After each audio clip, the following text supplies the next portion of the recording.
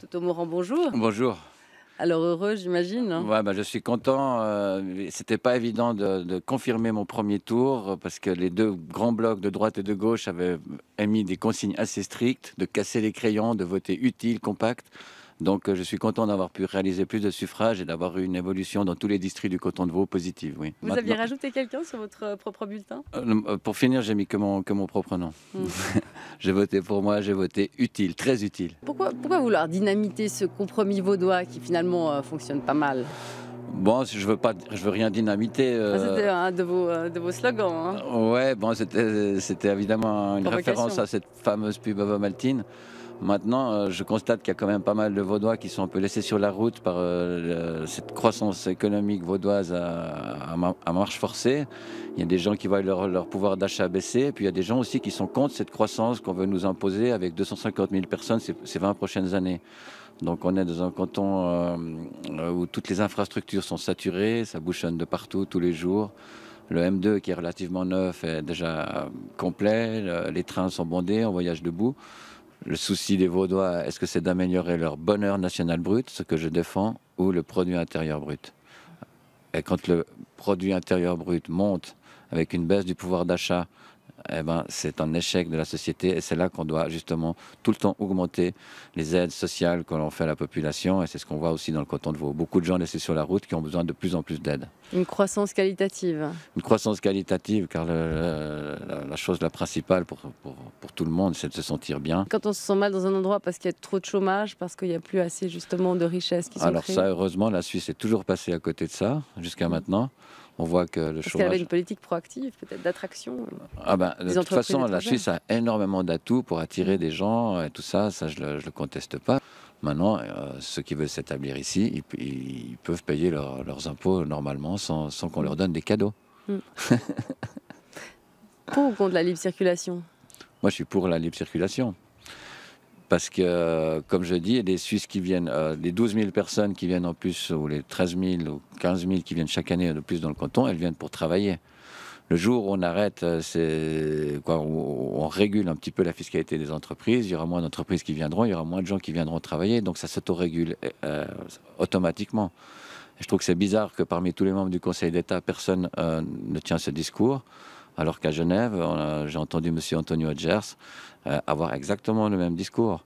Si on veut baisser la, euh, la démographie, il faut augmenter un petit peu la fiscalité des entreprises. Et tel- ça serait tellement facile. Et je ne comprends pas pourquoi, euh, d'ailleurs, M. Dalbousco ne comprend pas, on me l'a dit, pourquoi M. Broulis ne veut pas euh, mettre des taux planchers aux multinationales. Voilà. Pour moi, c'était la proposition que je faisais. Car il faut faire une RIE 3, mais pas dans les conditions euh, dictées par le canton de Vaud, avec les rabais maximum, l'open bar multinational. Donc Vaud devrait prendre exemple sur Genève. Euh, dans- oui, être plus raisonnable au niveau de la fiscalité des entreprises, puis arrêter. Vous savez que le canton de a- est passé maintenant en tête des cantons les plus dépendants des multinationales, devant Zoug et Bâle. C'est impensable, c'est c'est ce qu'on critiquait de- pendant des dizaines d'années, et on est arrivé dans un système euh, encore pire.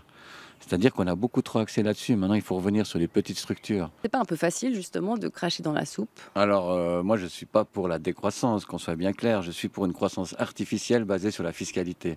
Donc, moi, toute mon entreprise, j'ai toujours mes payé mes impôts au plein pot, comme euh, au niveau personnel, au niveau de mes, revenus euh, de personnes physiques. Donc, euh, moi, je suis pour une croissance naturelle du canton de Vaud sans avoir toujours besoin à cette fiscalité très avantageuse qui fait du canton un des endroits les- les- les- les- les- avec la fiscalité la moins basse pour les entreprises. Est-ce que vous êtes du coup un peu jaloux justement comme chef d'entreprise que d'autres justement bénéficient euh, des multis de, de tarifs spéciaux Non, alors que, que des entreprises suis- comme la vôtre pas? Je suis évidemment pas jaloux, autrement j'aurais depuis longtemps euh, mis le centre euh, de mes affaires dans le canton de Zug et de Schwytz. Et j'aurais aussi un superbe appartement avec piscine à Zug et Schwytz où je paierais euh, trois ou quatre fois moins d'impôts que dans le canton de Vaud. Maintenant, si je ne l'ai pas fait, c'est aussi pour avoir le droit de pouvoir en parler. Je connais bien le système. Les, les chefs de PME sont des, des vrais vaches à lait fiscales euh, dans le canton de Vaud. L'impôt sur la fortune vient euh, taxer leur outil de travail. Donc tout ça, je le connais bien et je ne suis pas du tout jaloux. Comment est-ce que vous comptez pérenniser votre mouvement? Parce que pour l'instant vous êtes seul hein, à la barre. Ouais, je suis, bah, les deux fois, je me suis présenté tout seul. Euh, évidemment, maintenant, euh, j'ai vu que cette deuxième fois, c'est quand même beaucoup d'énergie, beaucoup de travail, etc. Euh, j'ai confirmé mes scores d'il y a 5 ans, vu que j'ai fait quand même 50% de voix de plus en, en l'espace de 5 ans. maintenant, l'idée serait évidemment que, d'autres se joignent à moi pour pour rendre le mouvement plus large, le coton de veau est énorme. C'est-à-dire concrètement, vous allez organiser un parti avec des factions dans chaque commune? Comment est-ce que vous allez faire? Non, je vais surtout faire un appel euh, sur les réseaux sociaux aux gens qui seraient intéressés de rejoindre le parti de rien, ou comme sympathisants, ou comme membres actifs, c'est-à-dire qui seraient d'accord de se mettre ou sur des listes pour des élections communales, ou pour dans cinq ans bien se préparer pour les prochaines élections cotonales. Ça serait ça l'idée. Et viendront d'où ces gens? Alors, euh, société civile, comme on dit maintenant, la société civile. Des, politiques euh, déçus. Alors, euh, les politiques déçus sont évidemment bienvenus, puis autrement, ça sera la société civile. Et j'aimerais quand même bien recruter des jeunes, des jeunes qui ne sont pas assez présents dans cette vie politique vaudoise, qui votent pas beaucoup et puis qui ne sont pas assez représentés. Vous espérez surfer un peu sur le mouvement Macron Oh, je, pense surfer sur un mouvement plus général, mondial, où les gens en ont marre de ces clivages gauche-droite. Euh, j'espère faire prévaloir le bon sens, le bon sens qui est, qui est, vraiment primordial pour, pour toutes ces questions. Donc, euh, peut-être pas surfer sur la ligne Macron, parce que je ne me comparerai pas à lui, dans le sens qu'au contraire de lui, j'ai pas eu euh, tout le soutien médiatique et les milieux financiers qui m'ont soutenu, au contraire. Donc, si j'avais soutien médiatique comme Macron, j'aurais déjà ma place au Conseil d'État, c'est sûr. Hmm. être de droite ou de gauche, c'est aussi mettre en avant certaines valeurs. Vous, vous définiriez comment vos, valeurs, justement, cardinales? Moi, bah, j'ai des valeurs bah, concernant la fiscalité, c'est plutôt des, idées de gauche, mais en même temps des idées de droite, car je suis pour la, diminution des impôts sur le canton de Vaud. Moi, cet impôt sur la fortune dans le canton de Vaud absolument crée des gros dégâts à tous les niveaux. Donc, euh, il y, a plusieurs pistes pour baisser l'imposition des Vaudois. Je les ai toutes euh, évoquées pendant ma campagne. Euh, voilà, donc ça, c'est pas tellement de gauche. Mm. Maintenant, de la culture, je la culture n'a pas de, non plus de. Donc, vous voyez, c'est quand même le bon sens. Quand je, lance aussi ma, pétition pour aider les agriculteurs euh, vaudois, je pense que ce n'est pas une idée de droite ni de gauche, c'est une idée de bon sens. Il faut aider les gens qui nous ont nourris pendant des siècles et qui sont à 5 km du centre de, de, nos villes et de nos villages. Est-ce qu'il n'y a pas un petit côté démago quand même de, justement de, défendre les paysans, le lait, euh, la nature. Quand, comme vous, on vient justement d'un milieu assez bourgeois et qu'on vit de la cité. Hein, ben, il y, a un gros clivage entre les campagnes et la ville. Maintenant, euh, on voit que le, problème de l'agriculture, euh, du développement de l'agriculture biologique intéresse énormément les citadins. On voit qu'il y a beaucoup de, beaucoup d'activités qui vont dans ce sens c'est assez marrant de voir que les gens à la campagne sont plutôt de droite, et puis les gens qui supportent par exemple la permaculture, euh, la culture biologique sont, plutôt de gauche. Donc je pense qu'il faut faire le pont maintenant entre les villes et les campagnes pour euh, s'attaquer au problème numéro un des campagnes, c'est-à-dire euh, la survie des exploitations laitières et agricoles, parce qu'on en est là maintenant. Donc démago, je pense pas. Je pense que c'est un souci qu'on a un point de rupture au niveau de l'agriculture, euh, un point de rupture euh, par rapport à toute la chimie qu'on a utilisée ces dernières années. Maintenant, il y a beaucoup d'initiatives qui vont pour une production beaucoup plus bio. Dans le coton de veau, on a un gros retard sur la Suisse car on n'a que 5,8% des exploitations qui sont bio, avec une moyenne de 12% pour la Suisse. Donc il y avait aussi beaucoup, il y a beaucoup d'efforts à faire dans, dans cette reconversion. Euh, c'est comme le futur. Le bio, ça garantit pas justement euh, un prix du lait équitable. C'est pas forcément l'avenir du, paysan suisse. Hein. Alors, euh, l'avenir du paysan suisse passe par la vente, passe par la vente directe. Hmm. Donc, le, gros problème des paysans suisses, j'en ai rencontré beaucoup pendant cette campagne, c'est justement les gros distributeurs. Je ne vais pas les nommer, il y a aussi les gros distributeurs du lait, je ne vais pas les nommer non plus. Oui, il y en a deux gros essentiellement. Hein, voilà, il y a les géants orange, il y a Crémeau, tout ça ne font pas du bien pour les, pour les, mm. pour les paysans. Euh, l'avenir des paysans est par la vente directe. Il faut qu'ils s'organisent peut-être un peu plus entre eux pour qu'ils organisent des marchés permanents. Il y, a, plein, il y a plein de pistes que j'ai évoquées dans, ma campagne. Maintenant, il y a des solutions. Quelles solutions? Parce que ça fait un peu moins d'un siècle que c'est comme ça, que justement des gros distributeurs font la loi, dictent les prix pour Avant la production les années 90, on avait des contingents, ça fonctionnait beaucoup mieux. Le lait était, garanti à 90 centimes.